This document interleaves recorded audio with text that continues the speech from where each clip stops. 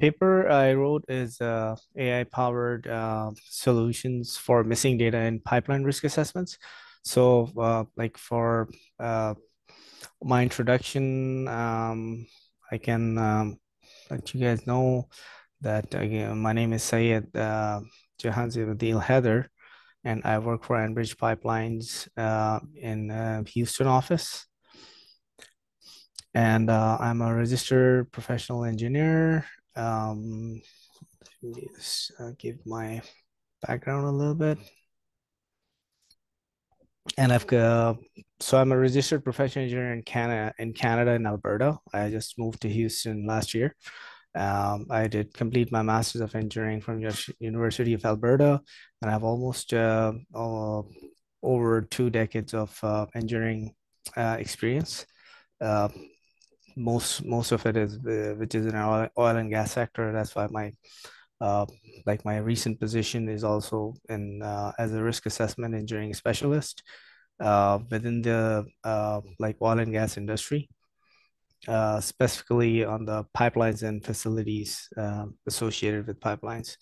Um, so that's what kind of so that's that's what kind of uh, uh I think uh, gave me some ideas about uh, writing this paper because with the with the introduction of AI, that's that's been a big thing for past I would say a year and a half, I believe. And there are experimenting going on and uh, uh, and uh, even like some so like some people are, or some operators are using AI uh, for like a lot of good things. And it's um uh, my only observation was that there was no guidelines or criteria in how we can safely use it. Uh, especially because I work in the risk assessment sections and I review risk assessments and I uh, and my department is risk management. So there is uh, like critical risk assessments that are performed. And now with this, especially with the generative AI, there is ability to uh, to create like missing uh, data out of the data that's available, which is like uh, uh, which I'll be presenting in this paper. So that's what kind of uh, gave me uh, the idea that I think there is some need to have some uh, have a structured based approach on on the AI use within, especially within the pipeline risk assessment industry, because that's what where I I'm coming from. So I know like there are a lot of IT expert and and uh, actual a real AI experts that probably are part of this this this group and discussion. Uh, my expertise is not like actual IT or AI, but my only concern and uh, the reason for writing this paper is that I know there are techniques out there uh, for AI, but when they are applied to uh, pipeline industry, there should be a proper structured risk-based approach that that should be followed to ensure where we can safely uh, leverage uh, AI techniques, or especially like AI generated data. so my agenda i'll just uh, quickly go over the abstract that already uh, it's already part of the paper. So this is this whole presentation is again like it's a uh, uh, in a nutshell what what exactly is covered in the paper. I'll just try to present that so i'll uh, have a brief introduction then i'll go over some uh, some basic ai techniques that are being used to generate like missing data through machine learning and uh, artificial intelligence.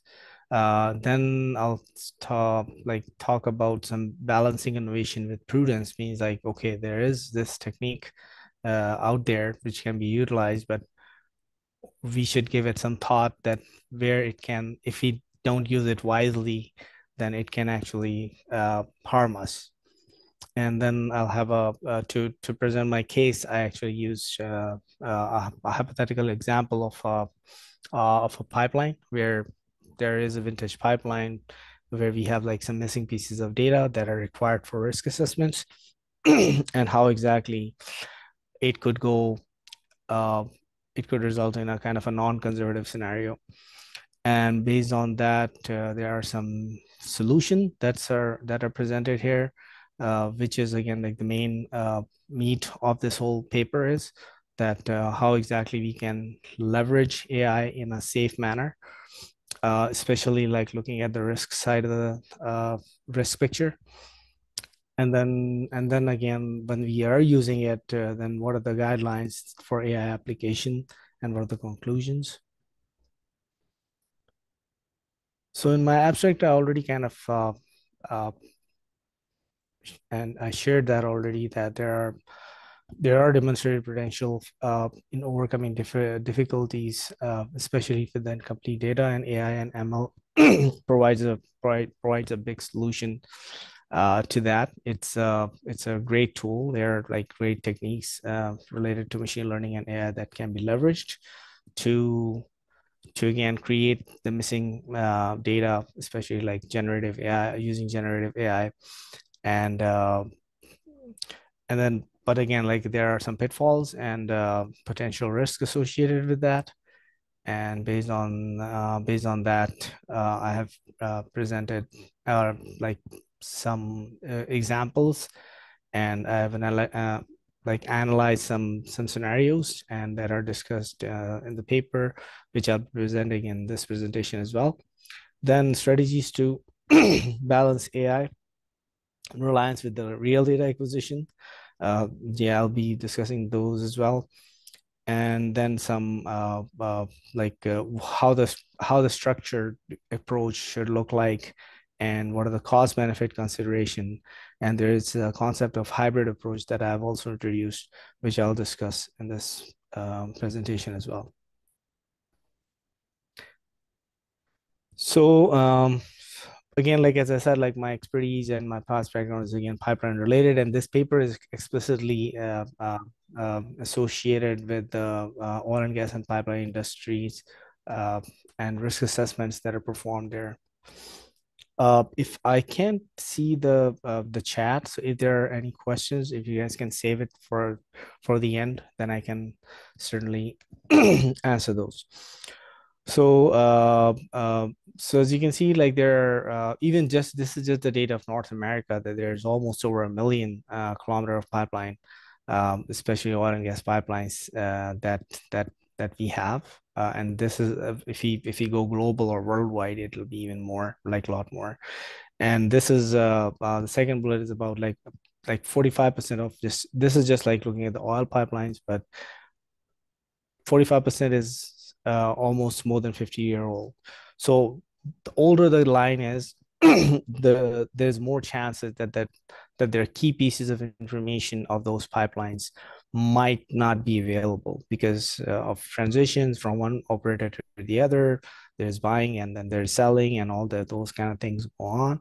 And then the data like back then used to be like uh, paper based and may not have been kept in a great format. The older drawings and all that. So it's there are challenges with data. Uh, so with that, like uh, you can imagine that this this uh, could like where exactly this whole uh, structure can be applicable to.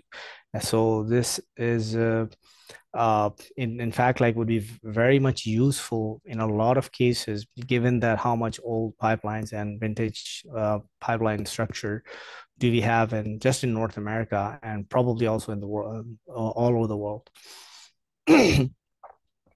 uh, then traditional methods, again, like we know that uh, specifically for pipelines, uh, if, if there's a missing key information on a particular pipeline, for example, and I will be discussing that in my example as well, like the pipe grade, for example. So that data is not easily acquired. A lot of data, like for like because the pipelines are buried underground, so you'd have to like excavate them to actually do some sort of testing and get that get information available, and that process is quite expensive and cumbersome. Uh, uh, so may not be prudent to to apply for all the missing data and not even practical. Um, so that's where that's where like AI and ML can be machine learning can be applied uh, employed to fill these data gaps and uh, but how exactly they should be applied that's what the paper will talk about and uh, uh this this concept and the the um, the process that I've introduced technically is a little bit high level it is again like based on pipeline risk assessments. However, it can be applicable to other um, other industry and uh, facilities and uh, other parts of the oil and gas and even beyond the oil and gas industry as well because the concept itself is is pretty simple and straightforward and can can be applicable to industry industries outside of uh, oil, and gas. So as i said like uh, especially like talking from the oil and gas industry perspective the missing data is a common issue and uh, already uh, pretty much given an idea in my introduction slide that there's quite a bit of uh, pipelines out there that are older than 50 year old and probably with uh, with missing pieces of information. Uh, current technology to determine missing data is costly and complex. I already talked about that. And um, uh, artificial intelligence and machine learning can predict missing values based on available data. This approach comes with, but this approach comes with risk, especially, especially when the there's a safety critical risk assessments going. Uh, we have to perform. Uh, so some AI techniques that that can be leveraged to uh, to actually uh, uh, create the missing data.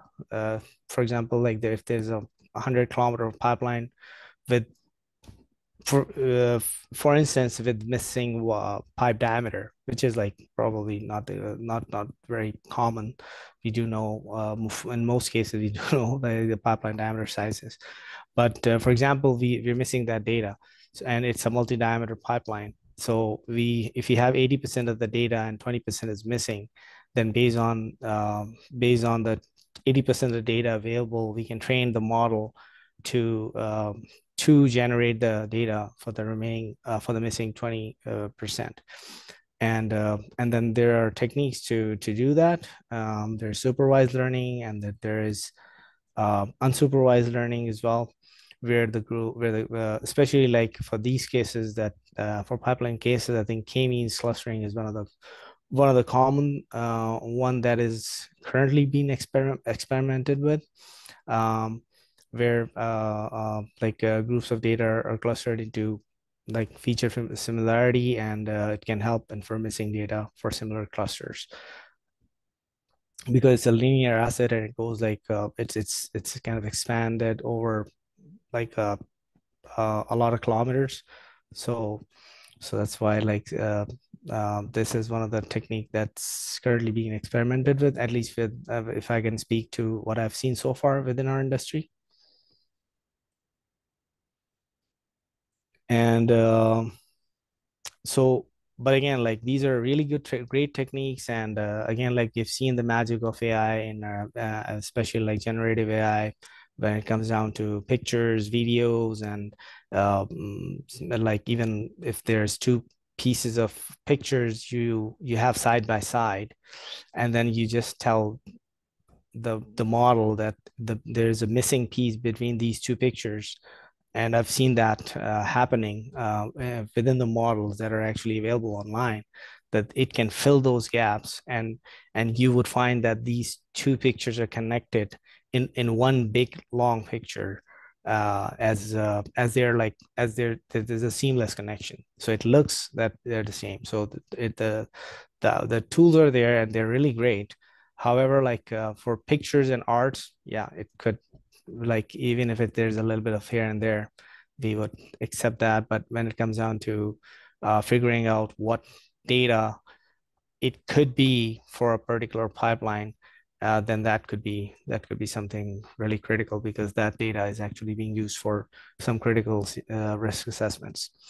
So integrity and quality of training data is critical and uh, validation and review. So ai models should be validated against known data point so even like the results that we get for the remaining missing data, there is uh, there should be some validation uh, performed um, uh, against um, the known data points to to see uh, to create some sort of a unity plot to understand like how much uh, how accurate the AI models predictions are.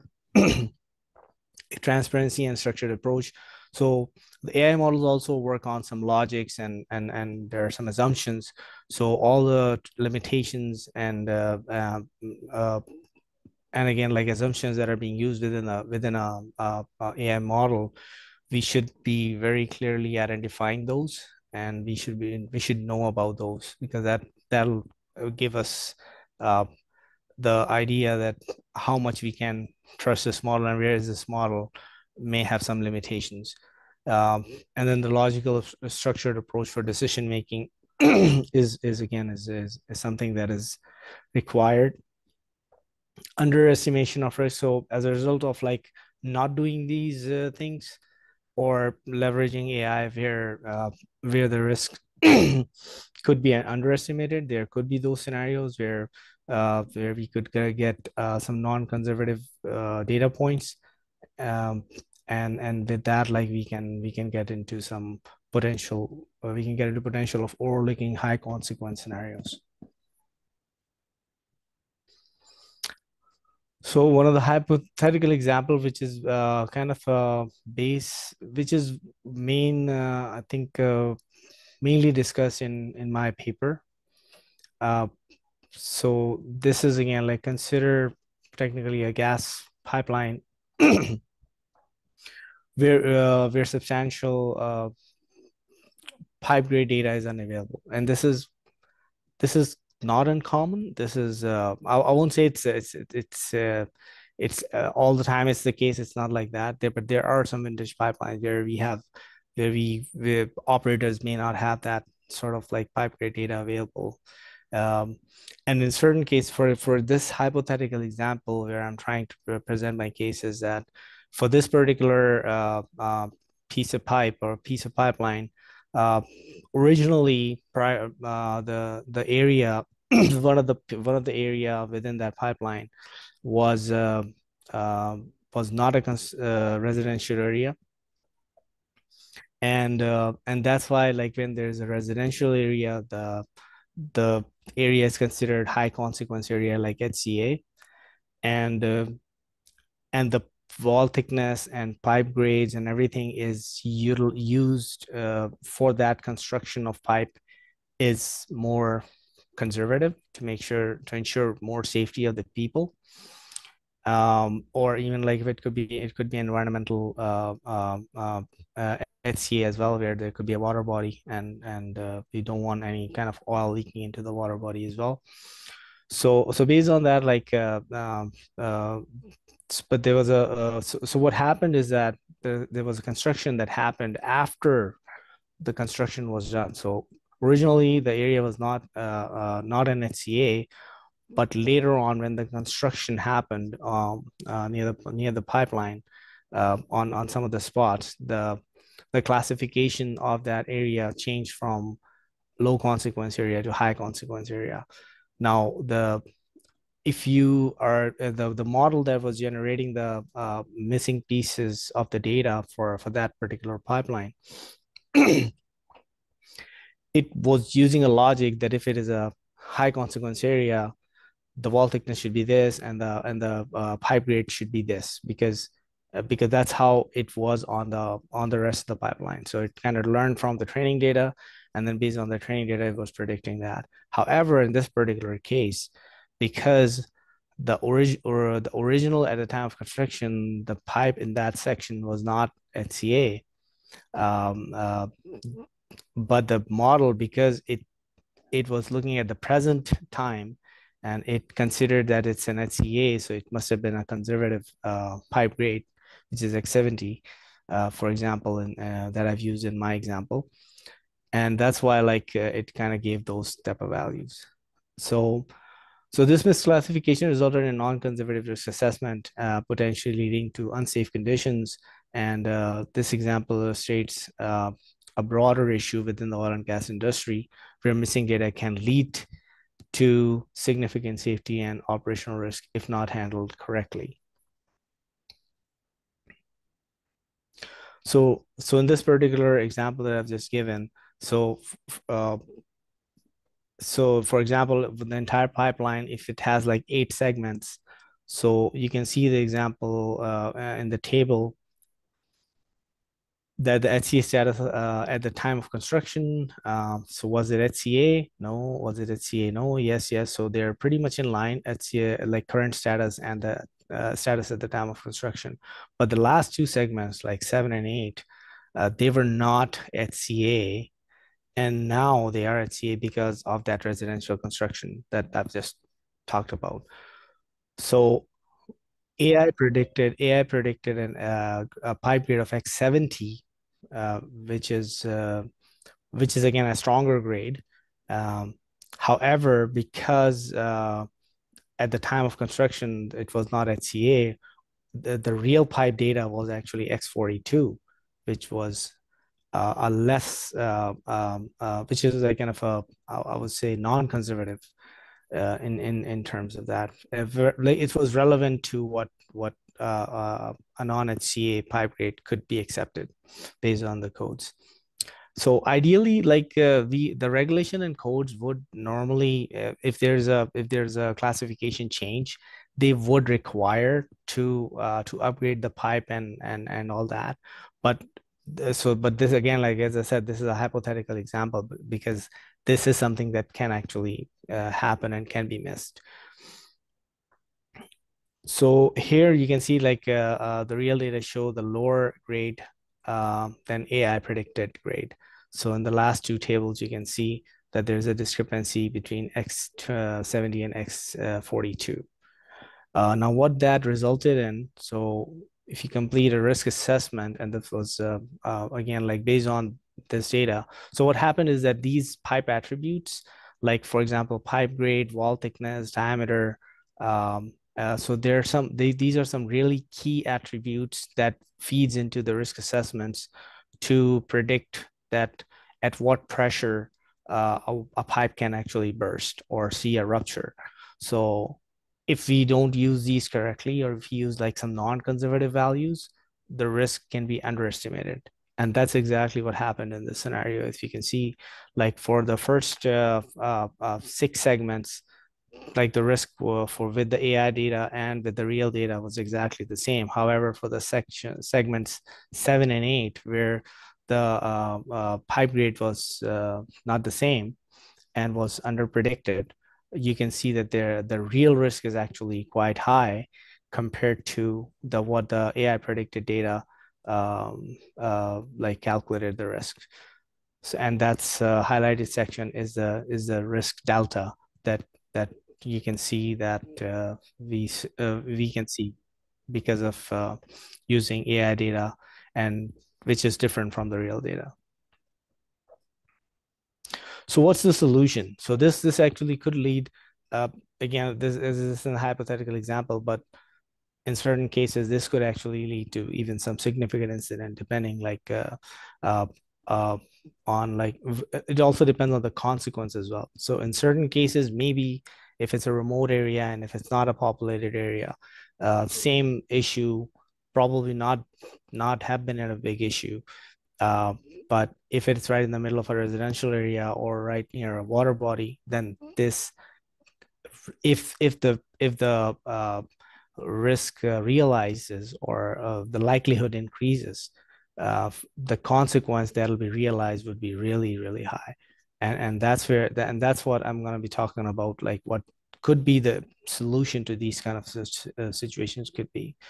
So as you can see, the strategy uh, for balancing AI is uh, uh, sorry, I think I'm a little bit over time because but I started late, so I'm probably gonna take like uh, uh six or seven minutes more. Uh, so identify. Uh, so one of the proposed solution that that I have uh, uh, uh, presented in my paper is that uh, leveraging AI to solve the missing piece of data um, uh, within the risk assessment puzzle. So the first thing is again, like what data is missing? That's something you need to identify for sure. And then understand how the data is used. So that's establishing the context uh, and undesired scenario where the data is uh, is used as an input. So in certain certain inputs are more critical compared to uh, compared to the others. For example, this uh, uh, uh, pipe grade data is important in predicting uh, in the equation where where uh, uh, uh, where a pipeline rupture is actually modeled.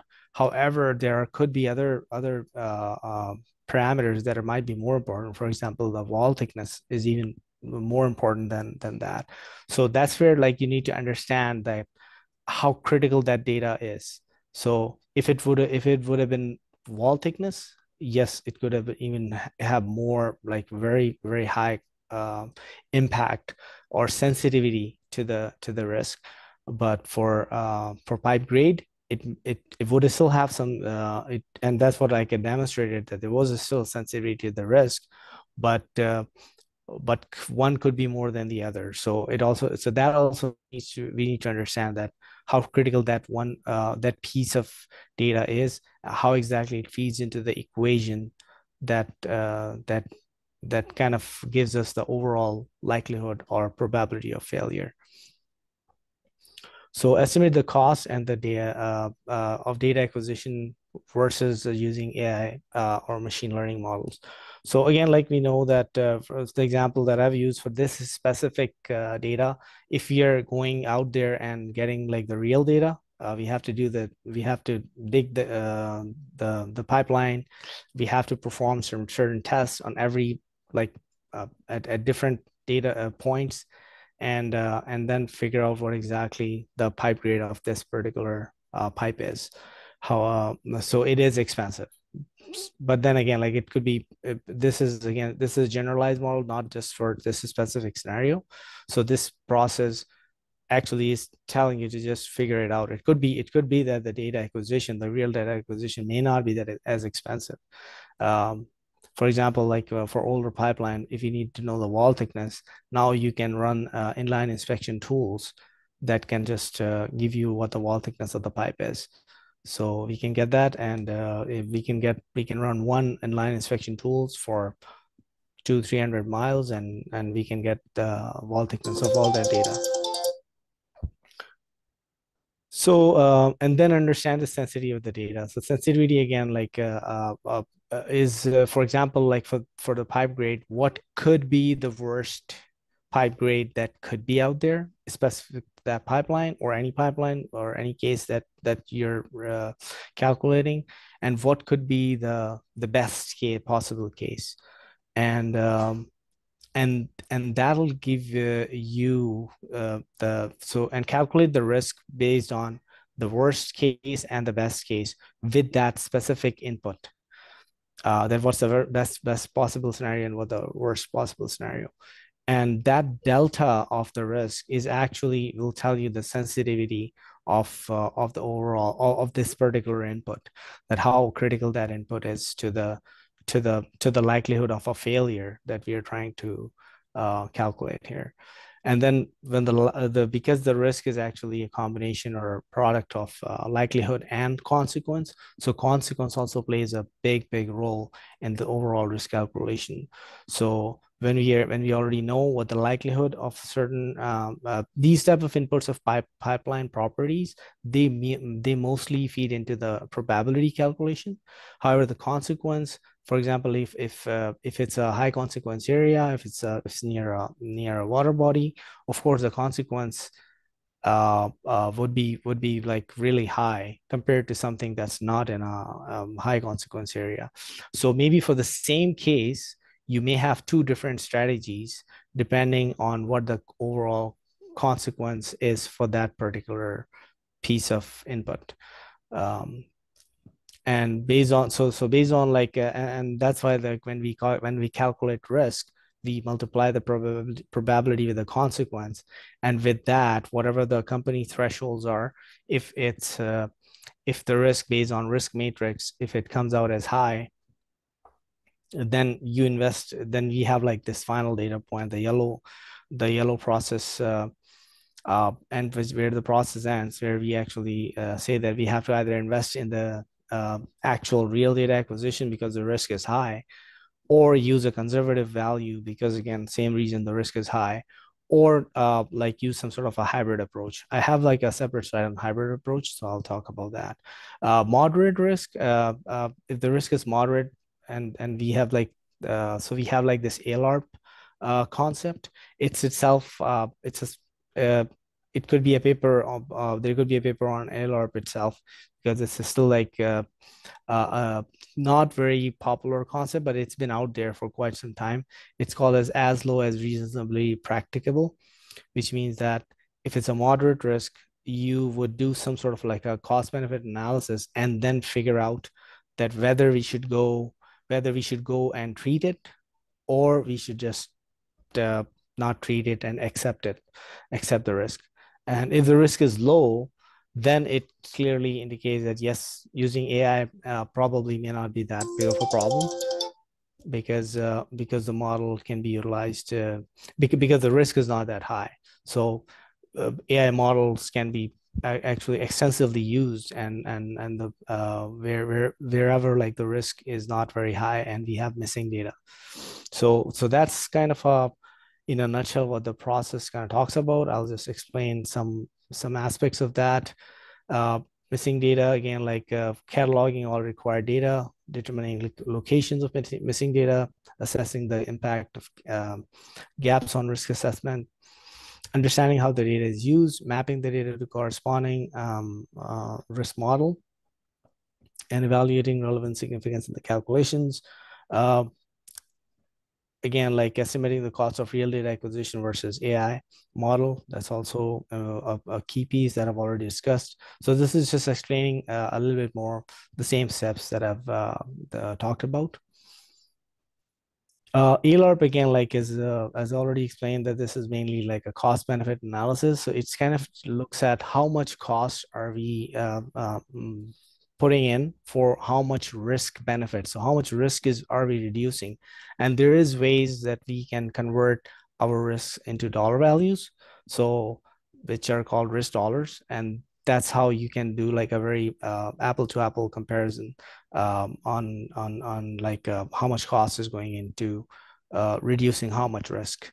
And, uh, and there there are aspects that that that that conversion is is pretty much different for like when it comes down to reputational risk or health and safety or environmental or operational risk. So there are different categories and that that itself is a is a whole new uh, can of worms. So i'm not going into those but this is just giving you a concept of there is that uh, basically it's a uh, it's a proportional measure that ensuring that the risk reduction measures are proportional to the risk level.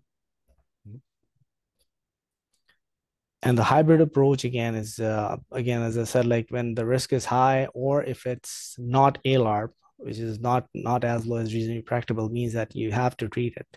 So then uh, we need to identify critical data points, focus on the most impactful data on the risk assessment, uh, and uh, fill in like less critical data gaps with AI predictions. So, so the hybrid approach is again like uh, instead of like in certain cases, if if it's still like uh, investing in the real data acquisition is extremely expensive, then we we can use kind of a hybrid approach where we go and collect the data at certain reasonable reasonable distances and uh, not for the entire pipeline but at least like maybe at every 10 kilometer uh, every 10 mile uh, sorry every 40 feet or every 100 feet or and and then at, at those data points you have like the real data.